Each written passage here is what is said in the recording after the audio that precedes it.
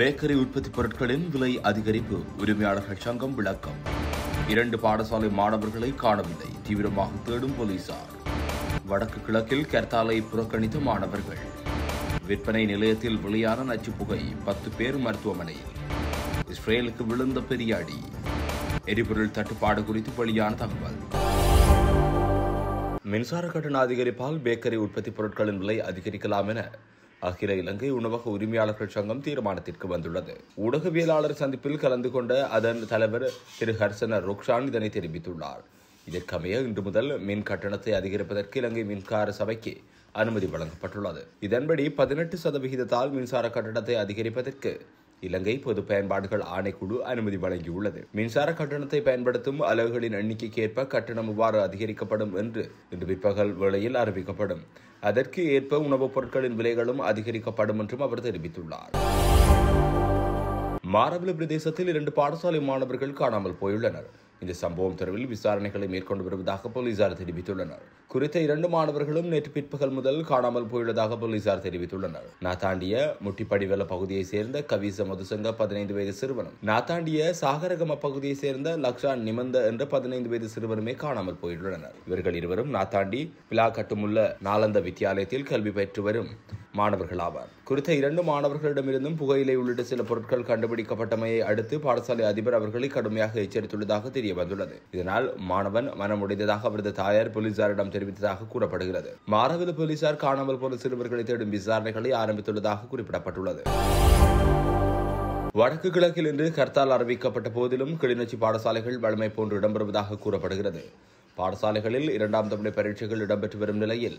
மாணவர்கள் பாடசாலைக்கு செல்லும் காட்சிகள் பதிவாகியுள்ளன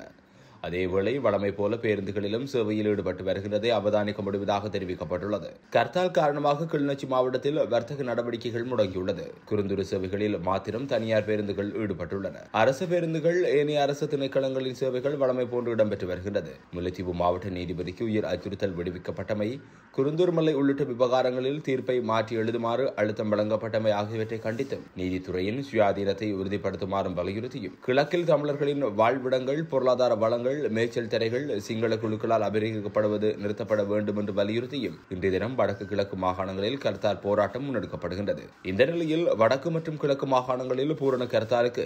தமிழ் கட்சிகள் அழைப்பு விடுத்துள்ள நிலையில் பொது முடக்கத்தை முன்னிட்டு பாடசாலை நடவடிக்கைகள் அனைத்தும் இன்று புறக்கணிக்குமாறு தமிழ் கட்சிகள் கூட்டாக அறிவிப்பு விடுத்திருந்தமை குறிப்பிடத்தக்கது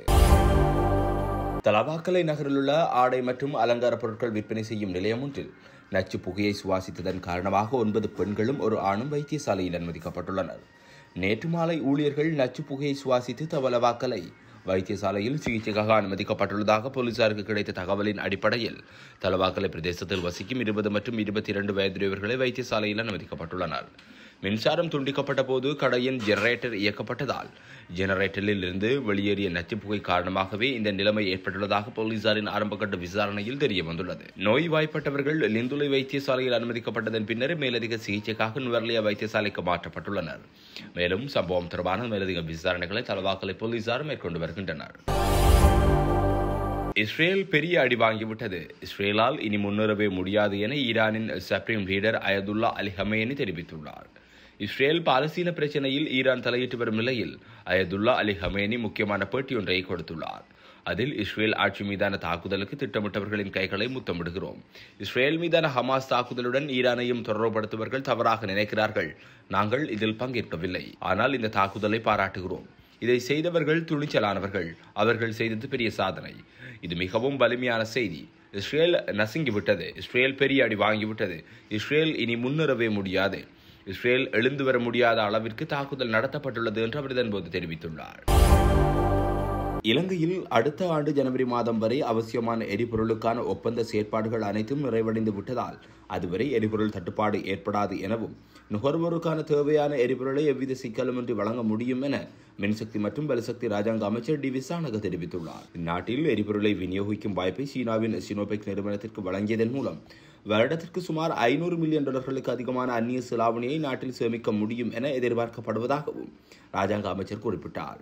அதிபர் ஊடக அமையத்தில் நேற்று நடைபெற்ற ஊடக சந்திப்பில் கலந்து கொண்டு கருத்து தெரிவிக்கும் பொழுது அவர் மேலும் இந்த விடயத்தை தெரிவித்துள்ளார் இது தொடர்பில் அவர் மேலும் தெரிவிக்கையில் கடந்த காலங்களில் நமது நாடு பாரிய எரிபொருள் நெருக்கடியை எதிர்கொண்டிருந்தது எரிபொருள் வரிசைகள் ஏற்பட்டன அதேபோன்று விமானங்களுக்கு அவசியமான எரிபொருளுக்கும் தட்டுப்பாடு ஏற்பட்டது அதனால் நாடு பாரிய சிக்கலுக்குள்ளானது ஆனால் மிகவும் குறுகிய காலத்திலேயே அந்த நிலையிலிருந்து முழுமையாக உம்மால் மீண்டு வர முடிந்தது இரண்டாயிரத்தி இருபத்தி இரண்டாம் ஆண்டு ஜனவரி மாதம் என்பது உலக சந்தையில் மசகு எண்ணெய் விலை ஒப்பீட்டளவில் குறைவாக இருந்த மாதமாகும் அன்று ஒரு பீப்பாய் மசகு எண்ணெய் விலை ஐம்பது அமெரிக்க டாலர்களாக இருந்தது ஆனால் தொடர்ந்து வந்த நான்கு ஐந்து மாதங்களுக்குள் அது அறுபத்தி ஐந்து டாலர்களாக அதிகரித்தது பின்னர் ரஷ்யா உக்ரைன் யுத்தம் காரணமாக ஒரு பீப்பாய் மசகு எண்ணெய் விலை சுமார் நூறு அமெரிக்க டாலர் வரை அதிகரித்தது பின்னர் கடந்த காலங்களில் ஏற்பட்ட சர்வதேச நிலைமைகள் காரணமாக அது எண்பது டாலர்களாக குறைவடைந்து காணப்படுகின்றதாகவும் அவர் இதன்போது தெரிவித்துள்ளார்